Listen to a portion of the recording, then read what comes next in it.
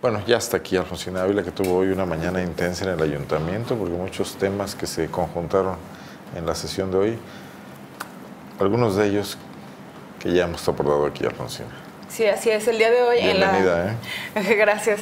Sí, el día de hoy, como bien comentas, en la sesión del ayuntamiento eh, se votó el, los convenios de, de de económicos para que el municipio pueda otorgar alrededor de 5 millones para 13 plantas de tratamiento de aguas, entre ¿Como ellas... Zapal Rural otra vez? Eh, como parte de Zapal Rural. Eh, dentro de estas plantas de tratamiento está la de los jacales. No, que estaba completa, ¿qué le falta? Eh, pues le faltan algunas obras como complementarias. No se desglosa ahí, ¿verdad? No, no se desglosa, pero a pesar de que es una de las plantas de, de tratamiento más completas de todas las comunidades que tiene el municipio, pues le siguen invirtiendo un poquito más. Y que da servicio a menos habitantes. Así es, a 157 viviendas, ¿no? Entonces el día de hoy eh, se votó este punto para que se le pudiera dar a Zapal, a Zapal con el programa Zapal Rural eh, alrededor de 5 millones. los regidores del PRI eh, se opusieron a esto, igual que el regidor Sergio Contreras, quien comentó que eh, podría votar el punto solo si se salía pues de, de, esta votación de plantas de tratamiento el de los jacales, ya que es una zona residencial que tiene pues eh, beneficios como si fuera una comunidad. Ya habías consignado que le habían asignado más presupuesto este año. Sí, así es. y con, ahora más todavía. Y con esto se le, se le daría más todavía, efectivamente. Así es. No obstante que pesa una investigación sobre el tema. Sí, justo a eso, iba a llegar. La, regidora del PRI, Norma Patricia López Zúñiga, comentó que ella presentó una denuncia ante la Contraloría, a pesar de que ya se sigue una de oficio por, la, por el trabajo que se ha publicado en Zona Franca. Y ella comenta que, dado que se tiene una investigación, pues no debe de de, dársele más recursos a, esta obra hidráulica. Sin embargo, pues el ayuntamiento votó este punto eh, por mayoría, solo con los tres votos en contra de, los regidores de, oposición, como así lo llama la ¿Pero lo defendieron de alguna manera o simplemente nomás votaron y ya? No, sí lo defendieron en el caso del regidor Sergio Contreras y Norma Patricia López Zúñiga y en el caso de Chuy López Gómez, que es el secretario del ayuntamiento, porque bien pudieron haber sacado de, de esta transferencia de recursos eh, la planta de, los, de, tratamiento en la zona de los jacales. Pero el PAN, ¿qué dijo? El PAN no, no se pronunció al respecto, no. comentó nada de esto. El, tema pasó únicamente con, las observaciones de los regidores de oposición. Muy bien. Bueno, siguiente punto. El siguiente punto que es muy relevante y que se dio al final en asuntos generales en el, en el orden del día fue de, del síndico panista Carlos Medina Plasciencia, quien, quien propuso ante el ayuntamiento que se, que se pronuncie ante el tema de, de la, la convocatoria del fiscal general. Es decir, que se, dentro de las cláusulas que tiene la propia convocatoria no se no se dirija hacia algún miembro de, pues de, la, de la Procuraduría. Incluso él comentó que, que pues Márquez no debería de, de estarse cuidando las espaldas. Eh, comenta que sí, esto debe de, de, ser tomado en cuenta. Y por trámite, lo que sigue es que el, el ayuntamiento turna esta propuesta a, a las comisiones de gobierno y seguridad pública para presentar una, una propuesta formal y después pasarla al Pleno del Ayuntamiento y que ésta sea turnada al Congreso. Pero como esto se está dando simultáneamente en el Congreso... ¿Cómo le cayó el tema al alcalde? Eh, fue algo demasiado sorpresivo, fue como un golpe de timón, nadie se esperaba eso. ¿Nadie más intervino? No, eh, bueno, sí, el, el, regidor Sergio Contreras hizo algunas precisiones de tipo parlamentarias respecto a a los tiempos de que pues justo ahora se está llevando la convocatoria y es algo que se está revisando y sí, sí hizo algunas apreciaciones. Eh, sí, el alcalde se mostró pues sorprendido, igual que, igual que otros miembros del ¿El ayuntamiento. ayuntamiento produciría un posicionamiento en torno al fiscal general?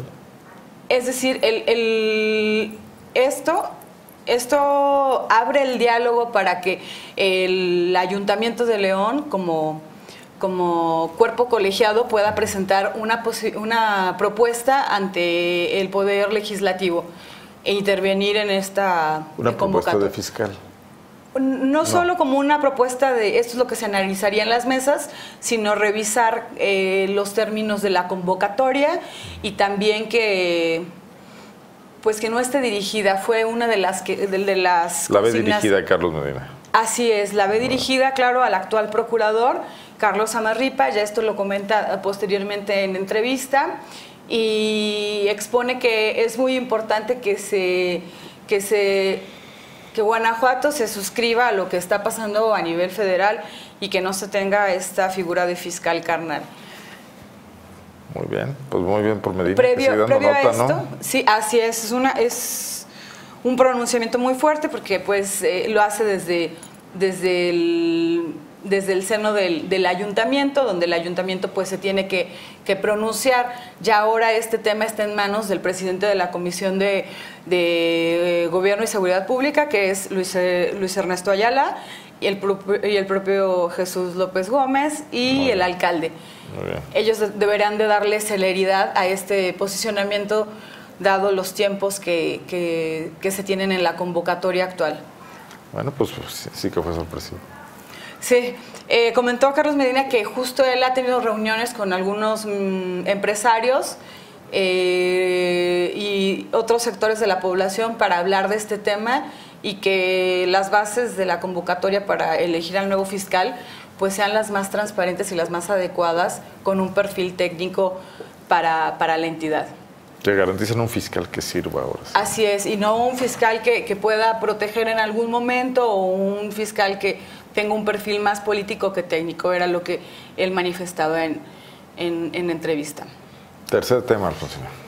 Pues el tercer tema más importante fue eh, nuevamente Sergio Contreras pide ante el Pleno del Ayuntamiento que se despida a Daniel Campos Lango. Pues no, que ya lo iban a correr, había rumores esta semana. Eh, parece que no, el día de hoy ya, eh, ya el alcalde de alguna manera da señales de que lo protege, de que está con él porque revela hoy el regidor Sergio Contreras que, que tuvo que estuvo repartiendo Daniel Campos Lango unos kits de fiestas patrias en donde daba algunos eh, utensilios para festejar el, grito de independencia a los comités de colonos, pero para ello les estaba pidiendo algunas CURPS, eh, nombres, ubicaciones, cosas que parecería que tienen tintes electorales, ¿no? Entonces él hace de nuevo un pronunciamiento para que, para que se revise y no se solape eh, desde la Dirección de Desarrollo Social y Humano este tipo de prácticas. Él hizo una lista que, le entregó al, al alcalde de todas las deficiencias que ha tenido a lo largo de la administración Campos Lango.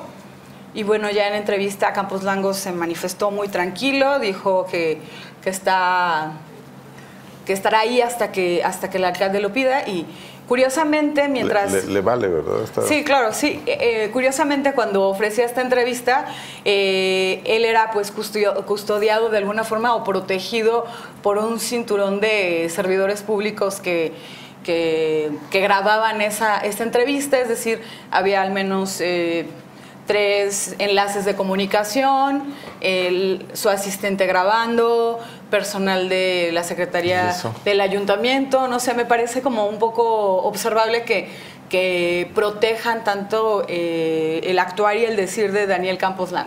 Pues es que es el representante de Diego Sin en el ayuntamiento y bueno, pues me imagino que muchos tienen veladoras prendidas ahí, ¿no? pues eso, sí, pero una cosa es... Eh, así es esta cultura del tapadismo. Muy bien, Alfonsina. ¿Todavía después de todo eso hubo más cosas? Hubo más cosas. Hoy, después de cinco meses, tras la salida así... Eh, intempestiva. efectivamente, de Ignacio Camacho Flores, eh, se nombra y se ratifica de alguna forma a, Emanuel Moreno Lara, quien se venía desempeñando al principio de la administración como el director de, de digital, eh, director de, de esta área que es estratégica dentro de redes sociales sí. de, eh, o sí, director de trolls y director de, de estrategia y comunicación que se encarga de, de las redes sociales y un poco de, de monitorear qué es lo que está pasando alrededor de la, de la administración. El día de hoy se, se le ratifica el cargo porque comenta el secretario del ayuntamiento que cuenta con el perfil y las capacidades.